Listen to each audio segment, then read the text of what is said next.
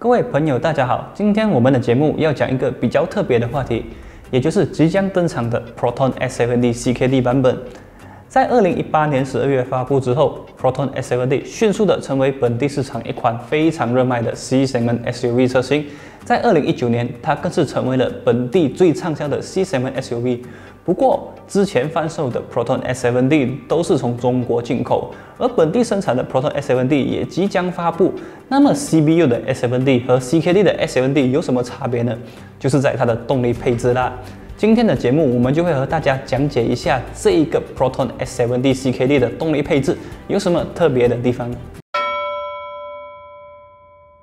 Proton S7D 上面采用的1.8公升涡轮增压引擎，它的代号为 JLE 4G18 TDC。很多人看到 4G18 就会联想到它是 Mitsubishi 的 engine，甚至在网络上也是很多人说，其实这一具引擎是山寨自 Mitsubishi，但是其实并不是，它们只是代号相似而已。这一具引擎是吉利自家开发的，它的主要对标对手是 Volkswagen 的 EA888 1.8版本。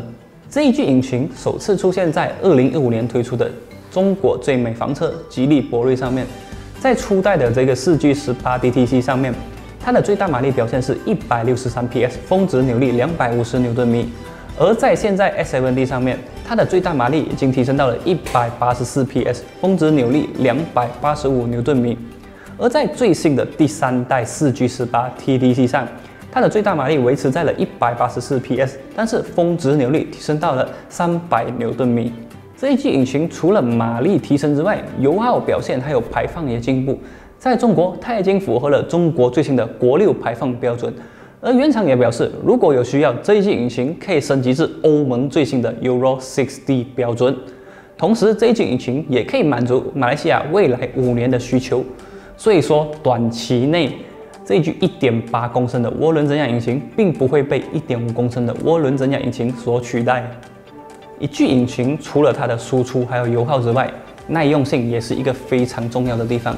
在开发期间，吉利总共测试了76具这一个引擎的原型机，总测试时间达到了3万六千个小时，总测试里程长达两百万公里。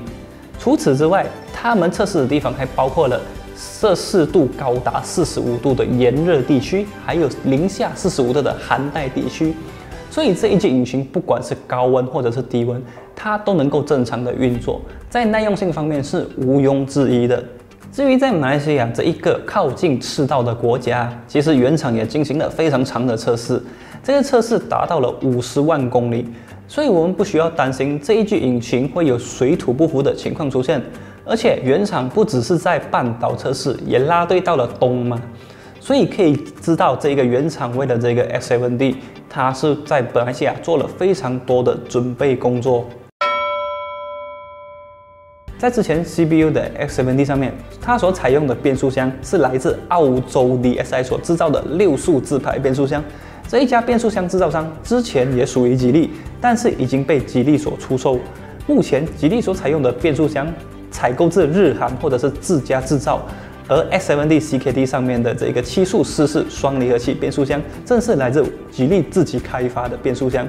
目前使用这个七速湿式双离合器变速箱的车款，包括了博瑞 GE、博越、博越 Pro、星越、嘉际、帝豪 GL、帝豪 GS、Lynk & Co，甚至是沃尔沃。使用的车款其实是非常的多。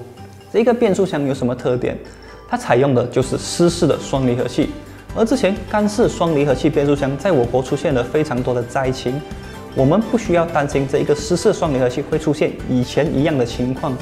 再来就是这一根变速箱采用了模块化的设计，而且它的体积非常小，兼容性非常高。普通版本的这个双离合器变速箱和混合动力版本的双离合器变速箱体积差不多，重量也差了一点点而已。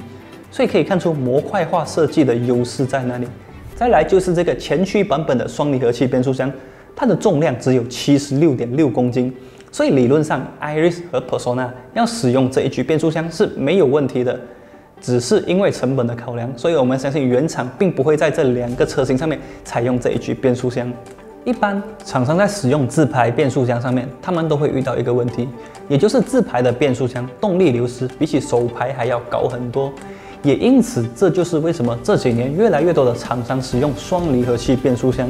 因为双离合器变速箱的结构和手排变速箱非常的接近。而吉利表示，他们的双离合器变速箱是目前市场上领先的，因为它的动力流失非常的小。根据原厂的数据，这个双离合器变速箱的综合效率达到了九十四点六八千，最高效率可以达到九十七八千，比起市场上很多知名的双离合器变速箱还高。至于在寿命方面，这个变速箱可以承受的最大扭力为三百三十牛顿米，可使用寿命为三十五万公里。另外，这个变速箱可以采用电子排挡杆，所以使用这个变速箱的车款，例如博越 Pro、博越，或者是其他的车型，都已经采用了这一个电子排挡杆。值得一提的是，即将登场的 S 五十也将会使用这一个变速箱。而原厂为了测试这一个变速箱的耐用性，他们进行了拖中测试，也就是在搭载这一具变速箱的车款上面放置了二点三公吨的物品。另外，它还要拖动另外一个一点八公吨的物品，在这样的测试下，这个变速箱依然是安然无恙，所以它的耐用性是非常高的。另外，搭载这一个变速箱的 Link and Co 车款，还特地到了阿尔卑斯山上进行高海拔的测试，也证明了原厂对这个变速箱其实是非常有信心的。在这个第三代的一点八公升引擎加上这个双离合器变速箱。它们所带来的这个效应是非常的大的。原厂甚至表示，这一个动力配置就是吉利的黄金组合。这具变速箱也连续两年获得了这一个全球十大变速箱的奖项。由此可见，这个变速箱确实是非常的出色。买车除了汽车的售价之外，保养的费用也是很多人在意的一环。而这个采用七速双离合器变速箱的 Proton S70 CKD。会不会维修费非常的昂贵呢？根据我们向 Proton 了解，Proton 表示这个变速箱提供了五年的 warranty，另外它每八万公里才需要更换这一个变速箱的油，之前的六 AT 版本每六万就需要更换。另外这一个变速箱它需要的变速箱油是非常的少，只需要四点五 L，比起六速自排更少，所以理论上。这个七速双离合器变速箱的维修费用会比起六速自排更低。六速自排每一次更换变速箱油都需要五百令吉。以上的资料是来自 Proton 的官网。至于在性能和油耗表现方面，S7D CKD 在更换了七速的双离合器变速箱之后，进步非常的大。首先是零到一百的加速为九点五秒。六 AT 版本的 S7D，它的零到一百为十点五秒，足足进步了一秒，这个进步是非常的多的。可是相比起这个零到一百加速，油耗表现的进步确实没有什么明显。根据吉利表示，在更换了这个七速双离合器变速箱的博越，它的每一百公里油耗节省了零点七公升到一公升左右。目前我们暂时还不清楚这一个 X7D CKD 会在什么时候发布，价钱会不会有变动。不过在下个星期，我们将参加 Proton 所举办的 X7D CKD 媒体试驾活动，届时我们就会和大家分享我们第一手对这个 X7D CKD 的试驾感受。如果你对这款车有兴趣的话，那么就千万不要错过啦！以上就是我们这期影片的所有内容。如果喜欢这期的影片，记得帮我们分享、按赞，还有订阅我们的频道。我们下次见，拜拜。